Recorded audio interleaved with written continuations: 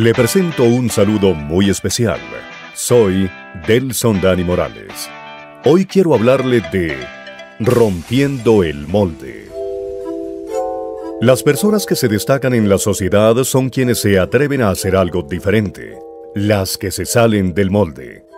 Obviamente pensar, decir y hacer lo que es distinto a la mayoría no siempre será aceptado, sobre todo si se trata de ir en contravía de los patrones de pensamiento establecidos por la sociedad. Este choque puede desencadenar en desprecio, burlas y agresiones. Aún así, el reto es salir del molde. Pero ¿cuál es el primer paso para lograrlo? Pensar diferente, pues somos lo que pensamos. Ahora bien, hay personas que tienen ideas contrarias al común de la gente, pero son pensamientos inspirados en la rebeldía. No respetan las normas. Su fruto es la anarquía. No se trata de romper los formatos que contribuyen a la sana convivencia no es romper arbitrariamente las normas morales y éticas, no es cambiar por cambiar. Se trata de apartarse de ideas o filosofías humanas que, aunque la mayoría comulgue con ellas, van en detrimento de los principios absolutos de Dios.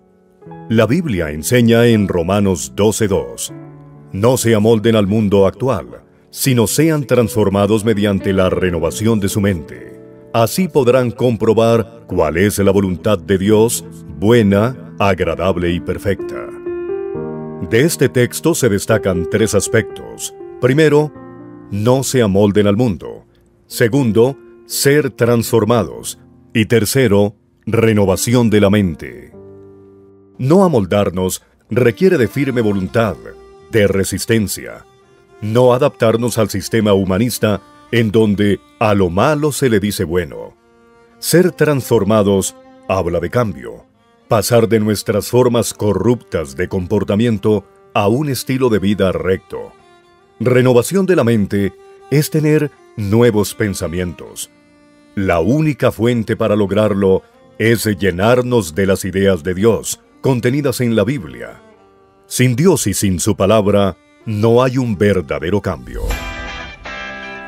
Conozca de las Sagradas Escrituras escuchando Nuevo Continente, 1460 AM en Bogotá y en internet nuevocontinente.org. WhatsApp más 57 311 830 4162. Descargue nuestra app y escúchenos en sus dispositivos móviles. Hasta la próxima.